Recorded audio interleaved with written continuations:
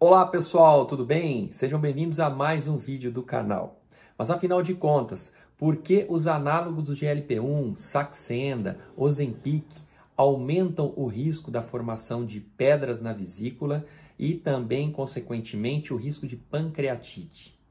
Nesse vídeo eu vou explicar em detalhes, de maneira muito didática, muito clara e simples, de fácil entendimento, como isso acontece e porque isso, inclusive, é descrito nas bulas dessas medicações, e então são eventos que realmente podem acontecer.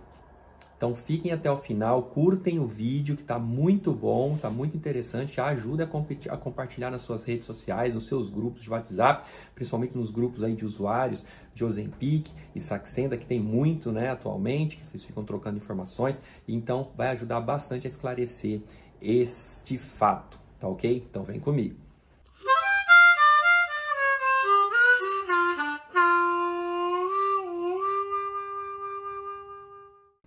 Para vocês que estão chegando agora e ainda não me conhecem, eu sou o Dr. Mário Toscano Filho, sou médico do Instituto de Endocrinologia de Toledo, no Paraná, e criador deste canal que tem como missão promover saúde para todas as idades. Aqui eu abordo temas relacionados ao tratamento da obesidade, do diabetes, das doenças da tireoide, do colesterol, do metabolismo ósseo e das mais diversas disfunções metabólicas e hormonais, doenças que acometem todas as idades. Então eu lhes peço para que curtam o vídeo, se inscrevam no canal, ativem as notificações para ficarem sabendo dos vídeos que são publicados aqui semanalmente. Tem muito conteúdo muito interessante já publicado e sendo preparado. A todos vocês que já acompanham meu trabalho, muito obrigado pela audiência e por todo a interação, todo o engajamento. Graças a vocês o canal está crescendo muito. Por que, que fala-se tanto, então, do, do risco da, da, pancreatite né, ao utilizar essas medicações? Por que, que pacientes que já têm pedra na vesícula é, têm a contraindicação, não podem utilizar essa medicação antes do tratamento cirúrgico para retirada dessa, desses cálculos? Então, vou falar assim um pouquinho de anatomia, tá? De maneira clara e fácil para vocês entenderem. Primeiramente, o que é a vesícula, né, pessoal? A vesícula, ela é uma estrutura, tá, em formato aí de um, de um saco, que fica na região posterior do fígado, conforme vocês podem visualizar na imagem que eu estou colocando aqui para vocês, e ela armazena a bile. A bile, por sua vez, tem a função de digerir as gorduras provenientes da nossa dieta. Então, toda vez que nós ingerimos um alimento que contém gordura, é secretada a bile, que é um conteúdo líquido, né, que sai da vesícula, vai pelas vias biliares, ducto colédoco, passa pelo pâncreas e ela é secretado no intestino delgado.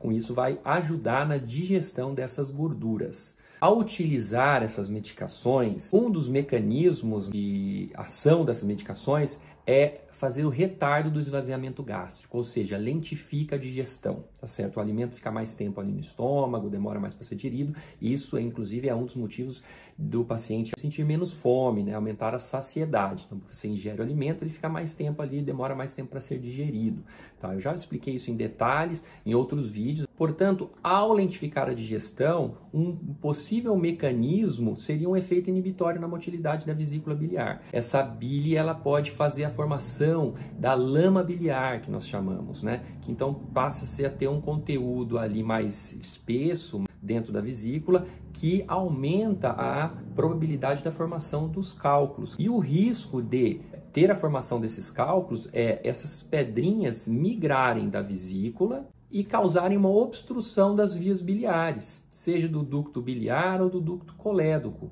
E ao causar uma obstrução, consequentemente, promove uma inflamação do pâncreas. Vai causar toda uma colestase, que nós chamamos, né, nas vias biliares, o indivíduo passa a ficar ictérico, pode ocasionar a pancreatite, que é uma situação, uma urgência clínica grave, o indivíduo precisa ir para um hospital urgentemente para fazer um procedimento que chama CPRE, que é a desobstrução das vias biliares. Outra situação, o indivíduo que já tem a pedra na vesícula, antes de utilizar a medicação, por isso é tão importante fazer exames prévios, né? dentre eles a realização de um ultrassom do abdômen total, que no ultrassom é possível visualizar de forma muito clara né?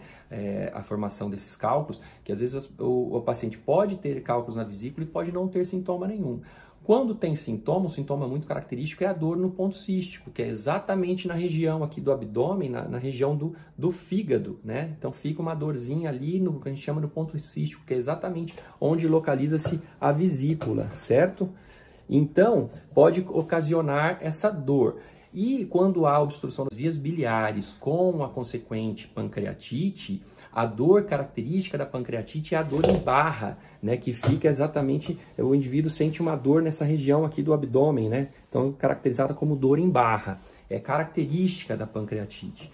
Então, isso também é um sinal de que a pessoa tem que procurar um atendimento médico de emergência, tá ok? E quando já há uma obstrução mais é, grave, o indivíduo fica ictérico, né? Então, os olhos ficam amarelados, esverdeados, exatamente pela congestão ali das, da obstrução das vias biliares. Então, são situações graves que, embora sejam eventos raros de acontecer com o uso dos análogos do GLP-1, Saxenda e Ozempic. É, e isso tudo que eu estou falando, pessoal, foram descritos em estudos, tá? o estudo líder da liraglutida e o estudo sustain da semaglutida, que avaliaram os pacientes em utilização da medicação com grupos placebo. A ocorrência desses eventos foram maiores nos grupos que estavam utilizando a medicação, principalmente nas doses mais elevadas, tanto do Saxenda quanto do Ozempic, quando comparados com o grupo placebo e com significância estatística. Por isso que essa é uma informação que consta na bula. Se você for ler a bula do Saxenda, for ler a bula do Ozempic, está lá efeitos adversos, embora sejam eventos graves, eles são relativamente raros, tá ok? Nos usuários. Mas como que nós podemos evitar isso? É, aos pacientes, então, ao fazer exames prévios antes de iniciar o tratamento, por isso que é tão importante o acompanhamento médico e a realização de exames prévios, para você ter a devida indicação e a prescrição da medicação. A maioria dos pacientes está utilizando a medicação sem nenhum tipo de acompanhamento médico, né? Com autoprescrição, como eu já falei no, no vídeo anterior que eu fiz sobre o Ozempic, se eu posso utilizar sem acompanhamento médico e que vocês sabem que conseguem comprar medicação sem a receita. Mas isso é um perigo, porque se o indivíduo já tem pedra na vesícula e não sabe, ele tem um risco aumentado de fazer uma pancreatite.